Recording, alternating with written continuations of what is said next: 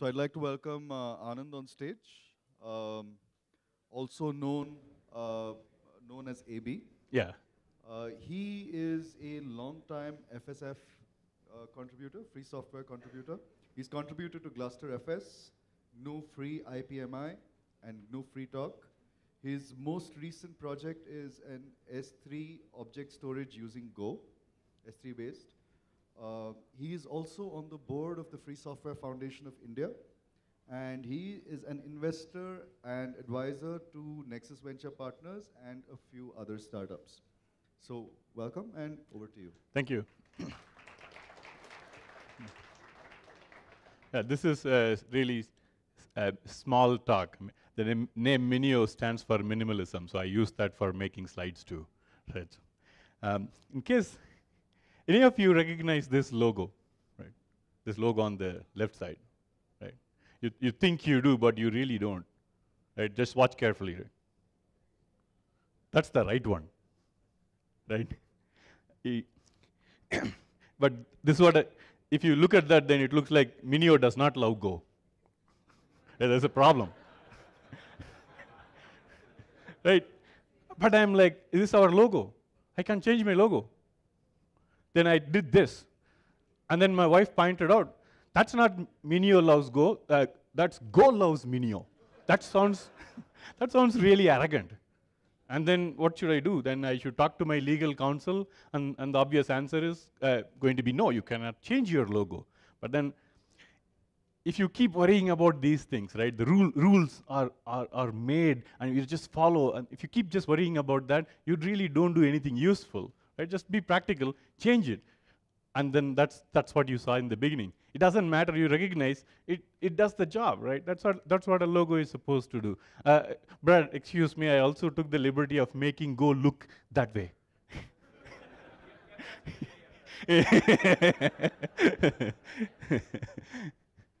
okay. You can see, right? That, that's why uh, when we looked at Go, it was a cultural fit. It's like, no shit, it's, Go is about being practical. It's more than Go routines, channels, all the, all the bells and whistles. It's not about that. It's about being practical. It's opinionated and it's opinionated for all the right reasons. And uh, Go was like a perfect fit. And Minio, for us more than code, Minio is a project about minimalist, right? Enterprise software, people always thought like enterprise. For us, we did not even know what enterprise. When we built Gluster before, they said, do you store enterprise data? I'm like, what is enterprise?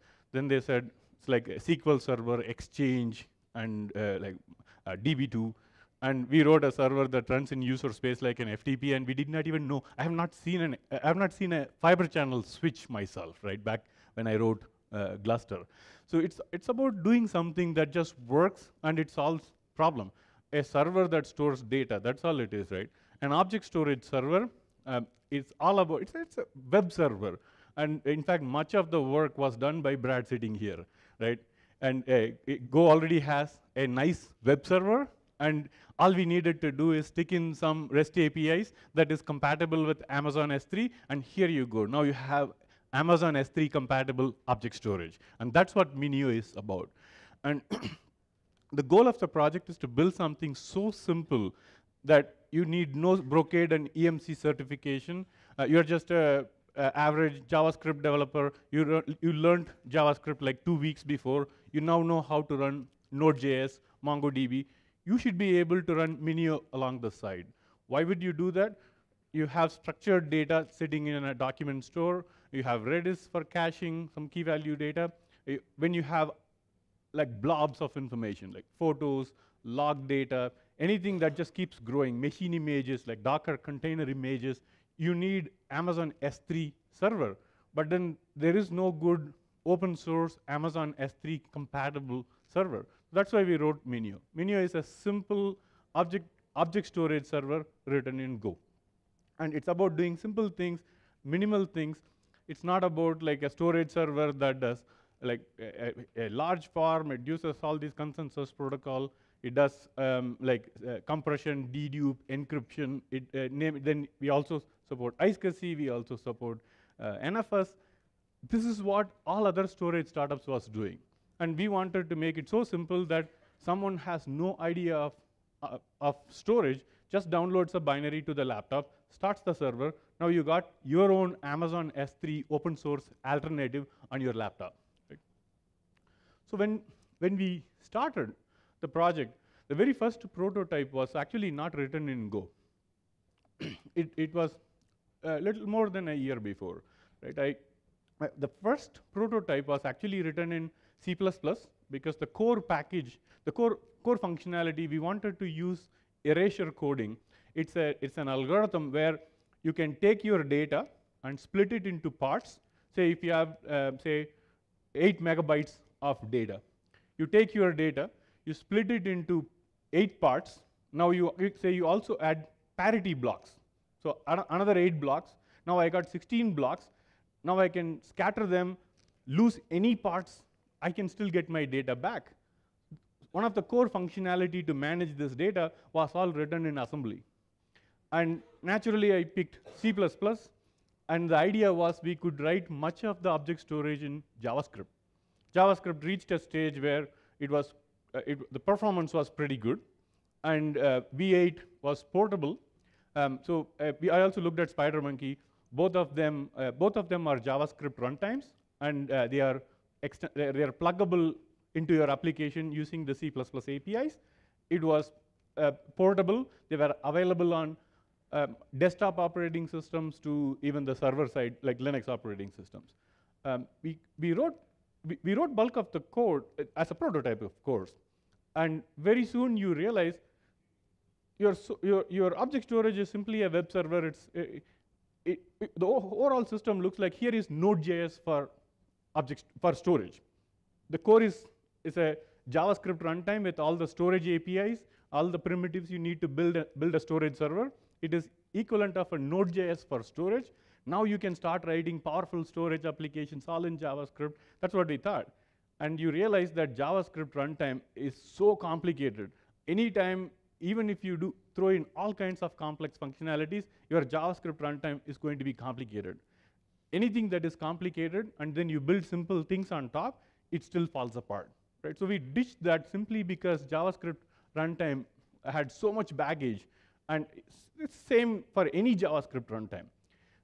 Then the second prototype was written in Go, and it very quickly became clear that there is hardly anything. It, in fact, it was more portable than a V8-based JavaScript code base because, like, even very early on, the code was, uh, uh, was, we were able to just get the code working on um, ARM platform.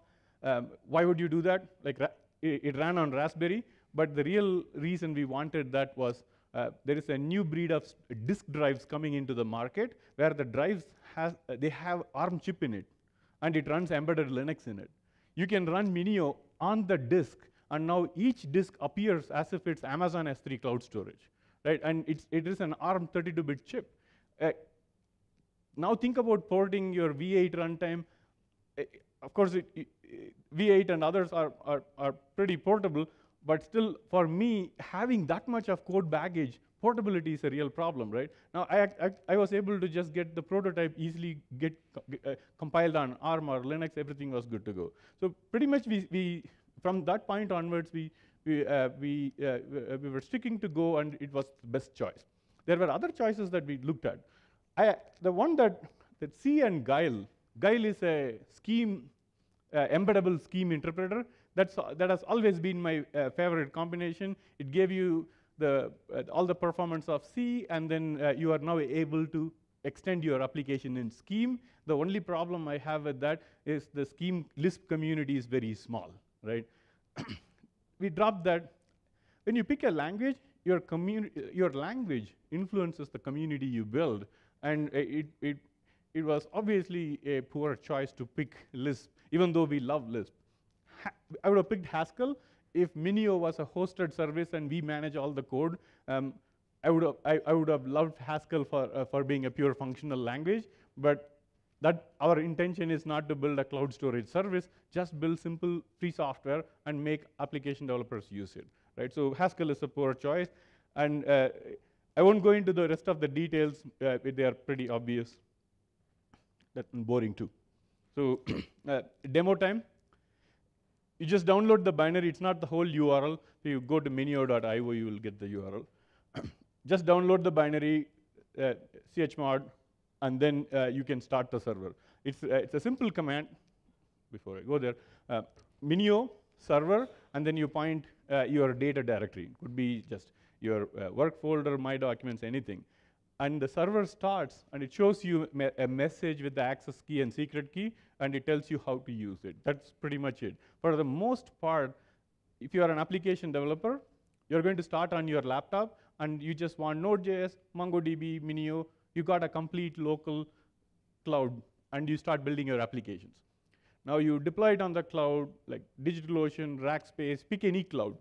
If you go to Amazon S3, Amazon AWS, you already have Amazon S3, right? So if you go, if you go anywhere else, Minio goes along with your application stack. So if you go to DigitalOcean, you don't ask them, give me this many Node.js instance, this many uh, MySQL, MySQL instance. You ask them, give me CPU, network, disk, and an SSH access, right? That's all it is your application stack includes MongoDB, Minio, everything you want. Now you go deploy there. You can pick any cloud provider and you're now free, right? That's the idea behind Minio. Just keep it simple, liberate the free. idea of free software is that now they have a choice. I'll, I'll show you a real demo. Let me switch back. There. If you want, I can kill it. Demo always fails, so it's already running. Uh, I can just show demo on this server, but let's do it anyway, right? It's written in Go, it should work. I have Brad here, so. yeah. so let's clear everything.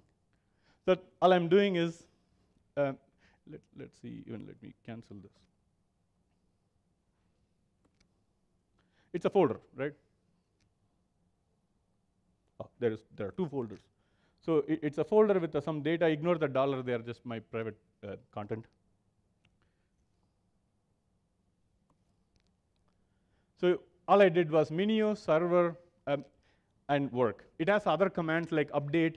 If you want to, uh, if, if, if, there are new releases available on, uh, on our server, minio update command will tell you there is a new binary, you can go download it, that, things like that. Uh, and then minio config allows you to just add some config, uh, config parameters. But it's pretty much this is the command you want to type.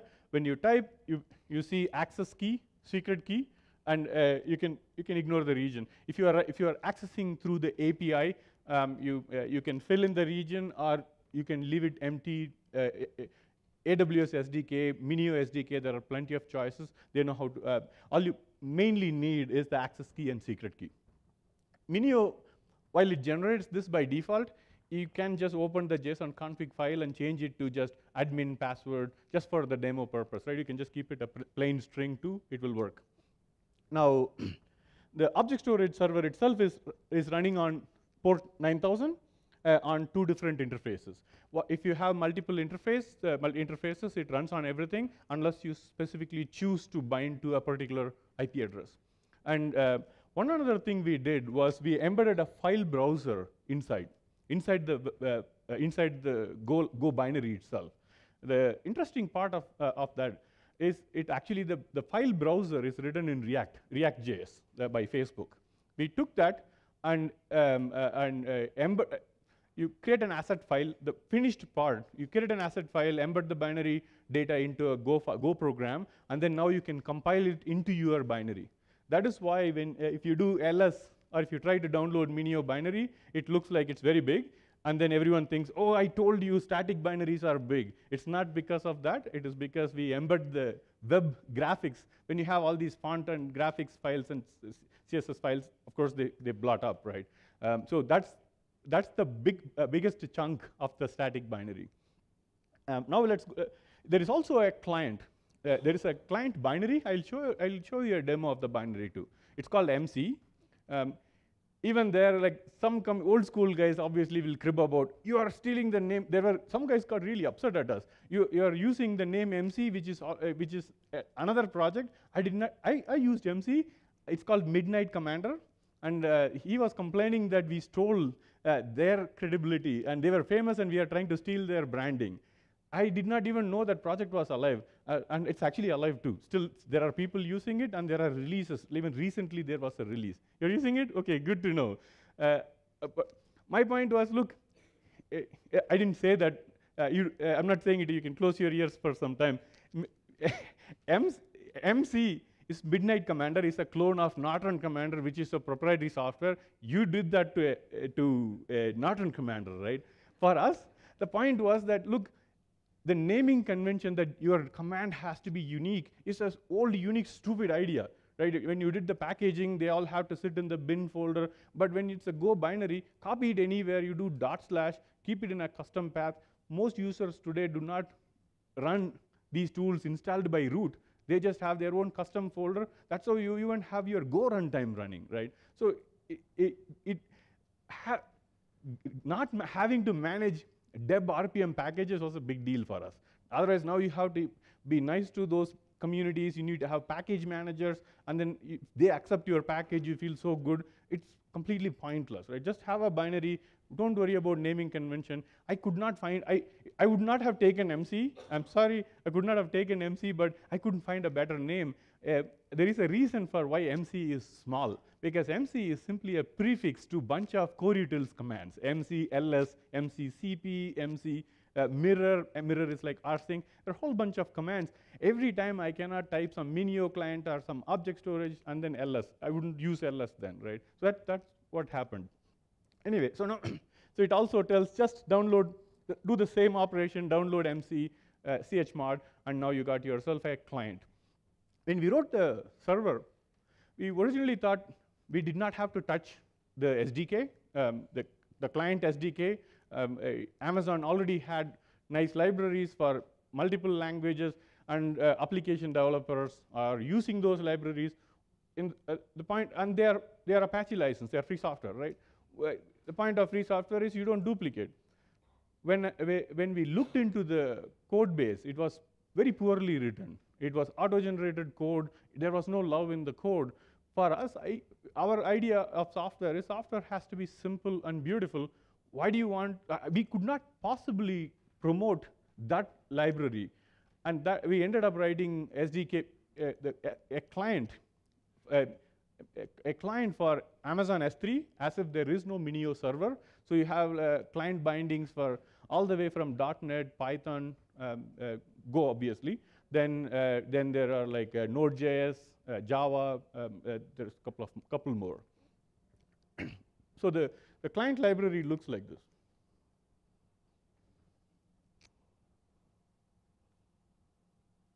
not that. It's not the complete code. I wanted to increase font size, so uh, I took the liberty of removing all the error checks. So Minio uh, dot new creates a Minio client, right? A, it creates an S3 compatible client. All you need is uh, give the server name, access key, secret key, and the last one is, uh, is, uh, is, you want to enable TLS or not, like secure. Um, and then you open a file, you got the stream to that file, and then S3, S3 client put object uploads the file.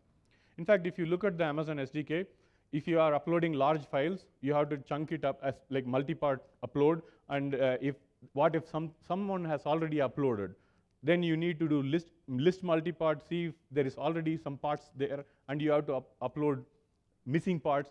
There is also an upload manager that they have written as, as additional layer. But my point was, it is a simple. The API should be simple. All you need is get put list, and put should automatically take care of small file or large file it should not look any more complicated than, than this API, right? So we wrote this API for multiple languages, and then we wrote the client. I will show you a demo of the client too. Uh, but before that, we can go to the browser. I told you about the React.js. I can log out and it is working right now. Again, let, let's log out and try if it really works. Right? I just saved the password if, you, if the server is running on, the server is running on localhost 9000. If you are running it on DigitalOcean or any server, you have the public IP address. Now you can share it with your friends or even from your mobile browser. You can now access uh, through the web-based file manager. So you can just go through the directories and see the contents, just navigate. It, it looks like a file browser, but the under, underlying API is Amazon S3 uh, AP, S3 compatible API. It's v4 signature. If you point your SDK to this, um, I, this IP address, you will be able to talk to that server as if it's exactly Amazon S3 service. We are pretty much done. I can quickly show you the commands also. So let's see. So if you see the MC, MC has a command and it takes flags and it has a whole bunch of commands, right?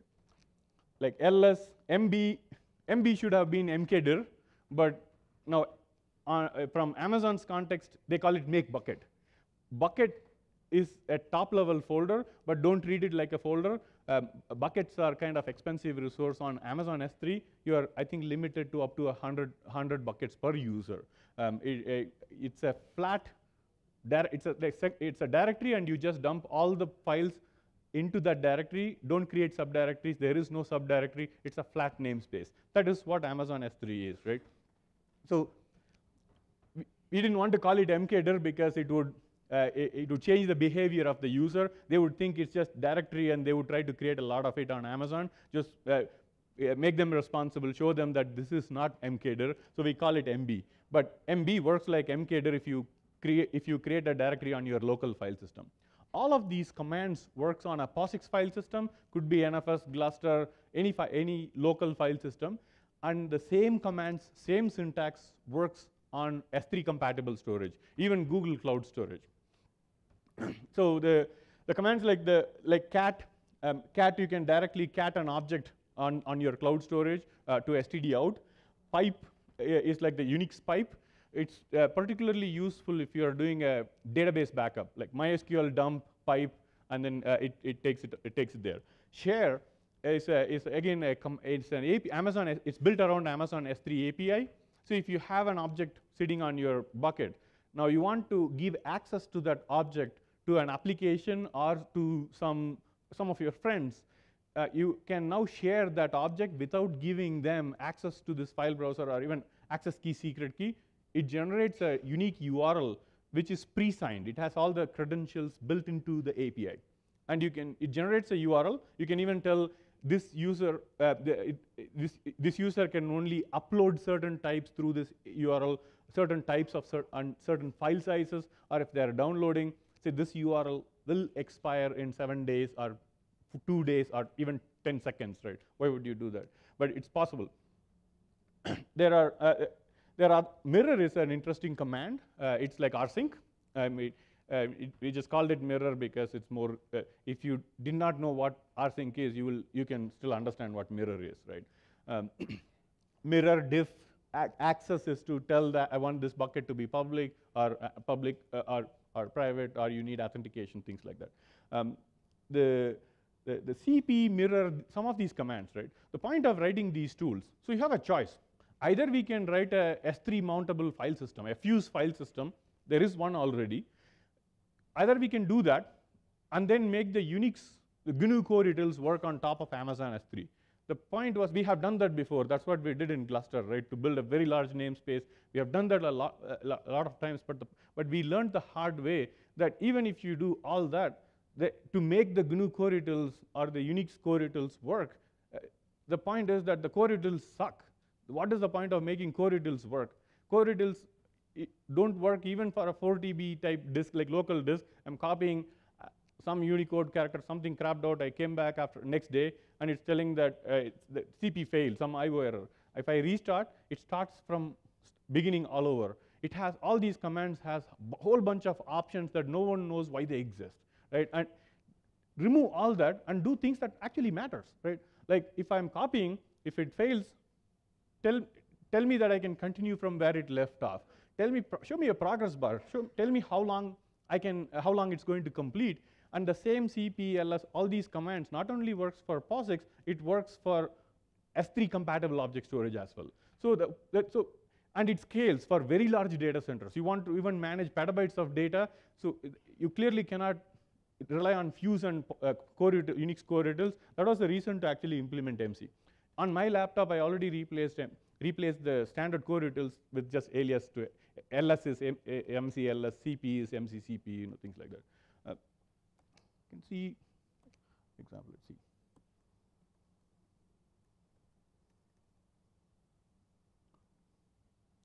So um, the local is, a, is an alias. I can show you how. So let's see, JQ.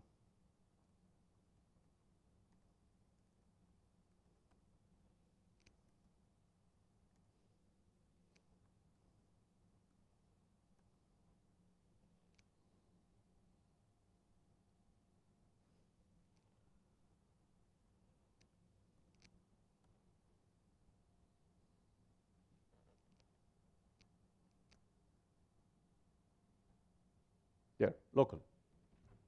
Local host, access key, secret key.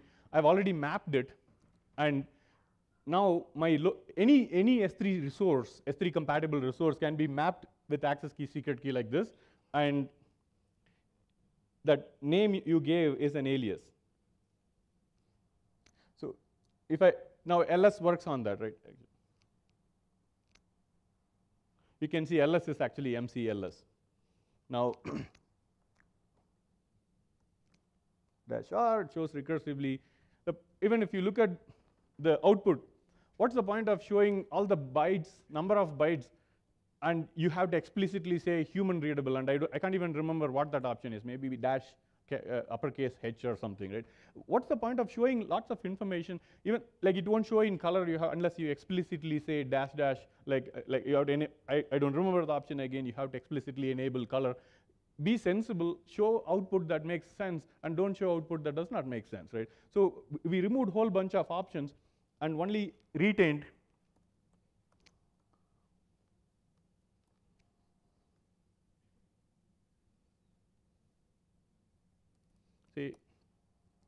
so every, every command you type, basically there are only few options um, and examples, and that's all you need to remember to manage whole bunch of data. There are some interesting options too.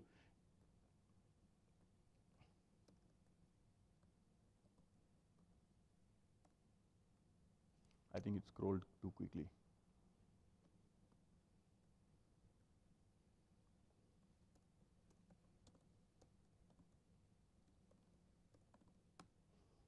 If you do debug, you can even do the trace. You can actually see what's going on, actual post calls.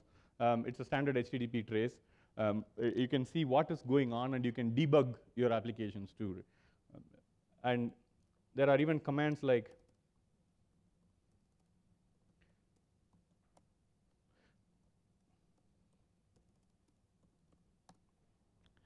the dash dash JSON output produces a parsable output. So you can now do scripting automation. If you are a DevOps guy, you do not want to use all the SDKs and write powerful applications.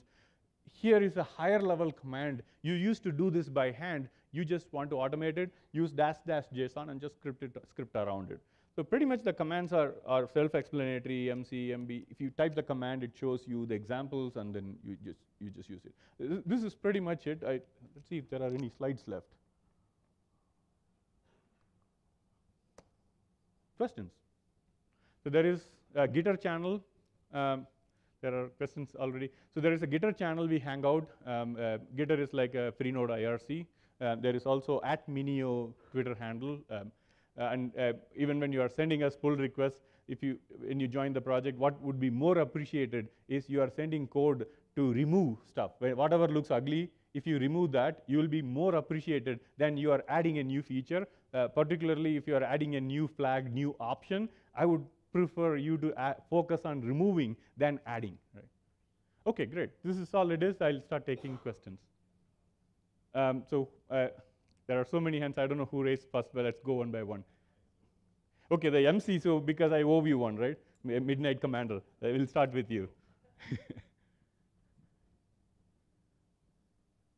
there, Mike. Hello. Alaska. Okay, uh, you will go next. Okay. So. Sure.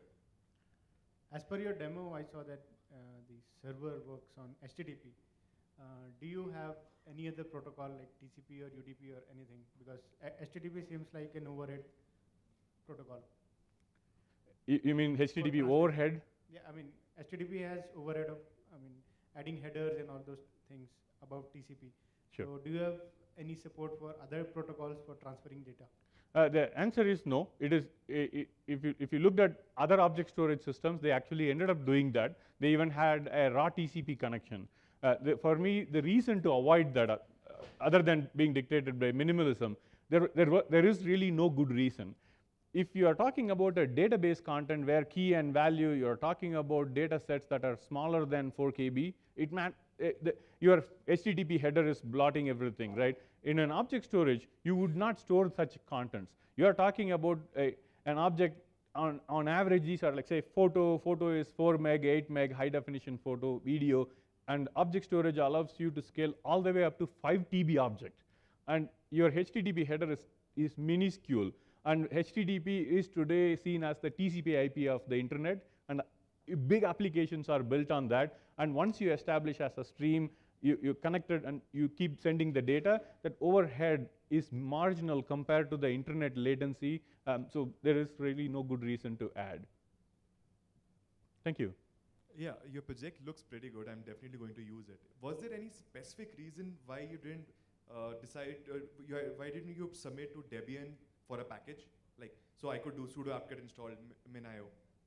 Uh, it is a binary. It's a. It's it's just a static binary. You can copy it to anywhere. If you really want to do a deb package, the only reason to do that is uh, is uh, you do uh, in the in the post install you do chmod plus x, right? Uh, but it's just a binary. You copy it anywhere. No, actually, Huh. there's there's a lot of benefits to that. So I Like uh, like when I'm installing software on my system, I trust the Debian maintainers for that. So I get uh, when I'm pitching uh, Minio to someone uh, above my chain, I can Hmm. say that because it is trusted by the Debian community, it'll be a reliable thing. It'll, it won't do anything evil per se. Like it, Yeah, so- whenever I install a server, I can just do uh, in my uh, install script. I can add uh, at the end add to install Minio like after something like Emacs or something. Yeah, so uh, which one would you trust, a binary from Go or a Go get like from a GitHub, like we have source, uh, and uh, or even if you pull the binary from dl.minio.io, uh, they are gpg uh, sig- uh, like signature signed, and you can verify that it actually came from us. And i- i- if, would you trust a Debian package maintainer, or would you trust the guys who wrote the code, signed it digitally? Okay, so I have the perfect example for you. Okay. Uh, so recently, about a few months ago, Mhm. the Chromium project, which is an open source project, you can download the code and read it easily. Mhm. The Debian maintainer found that they were downloading a blob of binary data that was opening the microphone whenever the Chromium was launched. Mhm. So I trusted the Debian maintainer, and he told on the mailing list that this is something that Chromium is doing. Please, if you not if you don't trust them, remove it because uh, there's something weird going on there. Okay. Later, the team clarified that it was for something else. But Okay. if the Debian maintainer was not there, I wouldn't have known that uh, my microphone was being listened to whenever I launched Chromium. So I trust the Debian maintainers more than anything else. Yeah, so uh, the, those maintainers are good. They follow security channels. Uh, it, it is also a responsibility of our project, but they take the responsibility of declaring what is stable. Nice part about Go is Go does not prevent them from doing their job. If, if, either it is a Debian package maintainer or it could be even a consulting firm who, who is better equipped about security, or it could be Red Hat packaging us into their operating system. Um, it, nice thing is Go does not prevent it, and we don't prevent it. It's just that if you do not want to go th- through that route, you want to do go get or you want to get a binary, it's simpler. But yes, i the, i if At this stage, we are too small. We are just one year old, right? It would be really hard for us to convince a Debian maintainer, and there is a proper voting system. It would take time. I think eventually it will happen. So I'd like to contribute that. So I, I would like. I would love that. Yeah. On Thank GitHub, you. mm, Yeah. Uh, We'll Yeah. make it on GitHub over. Awesome. Thank you. Thank you. There. This. Hi, uh, nice uh, talk. Uh, Thank uh, you. You mentioned that uh, file manager uh, uh, library. So what was that again? Uh, The file browser? uh, mid midnight commander. No, no, no. the, the, the client side or the browser? The React. Uh, React JS. J- re- So Re- Re- React.js uh, is uh, it's a framework to build. Actually, Krishna sitting there, he wrote it, uh, and then Rushan sitting there, he designed it, the UI. So uh, so the the file browser, it, it, it's written in JavaScript, and JavaScript it's, it's uh, React.js is like AngularJS, I understand right? React.js. I Ah, thought there right. was a library on top of React.js, right? That file, bro- file uh, browser? Ah, so okay. So how is it implemented? I will tell you. Yeah. So uh, the client side is is pure is, is pure JavaScript. Uh, in fact, I did not want to include. Uh, there are some technical details. It's interesting to know because it's not just in the context of the file browser. It is useful if you are writing an Android, iOS application, or even a web application, um, the how to go about doing this? Should you do so? There is a Node.js package for uh, uh, Node.js client bind or Node.js package uh, which talks to Amazon S3 service. So should should I use Minio Node.js package in combination with React.js on the client-side browser? Uh, my advice is I wouldn't do that. Even though it is it is possible you can go about doing it, uh, I would not do that because you are now sending the access key secret key to the client side and client is now fully capable. It's particularly dangerous if you are writing Android iOS application. These, these jar files, when they have these secret key, access key embedded, someone can easily decode. Even if you, if you had tricky ways to hide it, if somewhere it is compromised, you have to now issue a new package up, update to all of your clients. So how do you solve this problem? It's not something uh, that it, we only face. Amazon already solved it. So that's what they what they do is there is an API. The same the the MC share command uses that API. It's called pre-signing. So entire S3 client library is on the server side, right? So if you write application, in case of Minio uh, file browser, because server already has the capability, we did not actually have to include a client library inside the server. So server exposes extra extra APIs specifically designed for the browser. It's more higher level API um, uh, and it does that job. But when you're writing an Android application, what you, what you would do is don't, uh, uh, don't put the S3 client, even in, independent of Minio, don't put the S3 client on the client side. Instead, you write the server, there is like a gateway, and the server would pre-sign any object you want the client to access. So when you pre-sign the URL, you can tell I, I, this access is only restricted to four minutes or four days, and uh, even you can tell, say, if you want that application to upload to a particular fo particular folder, you can precisely control it has to be of PNG type, and it, the size has to be this much. There is a whole bunch of restriction you can add on top. Um, uh, and uh, so what you do is always there is a server-side component so server side, now you can pick any language you want. Java, it could be uh, Node.js, it can be uh, Go, whatever, right? So now server side, you pre-sign it and then send that URL alone to the client side Android app, iOS, doesn't matter. And they, with that URL, any standard HTTP client library can access object storage. So that is same thing. If you, if you see the file browser and if you, uh, if you want to download, what it does is it, it server gives a pre-signed URL at that time and you, it, it initiates a download. Thank you.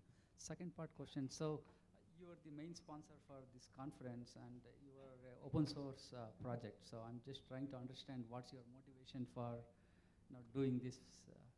Uh, uh what's the mot motivation for doing this? Yeah. Um, uh, for doing Minio or? No, for, for sponsoring. For sponsoring? it, it, it, it, the, the, the real should I the it, it, uh, the, the, the real reason, uh, if you like, even like, just few minutes before Atul, uh, Atul is, uh, organizes everything. He's part of Minio team, right? He was like, we, don't, we don't want to be announced. We don't want the booth. Um, it, it, it, we are doing this because we, uh, it, is our, we, it is our responsibility to give back. What we did is tiny compared to what the Golang community did to us.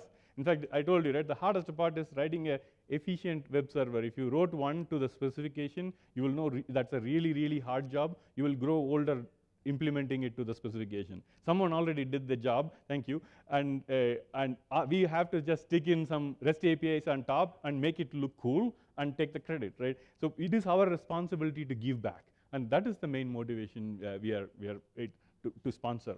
Thank you.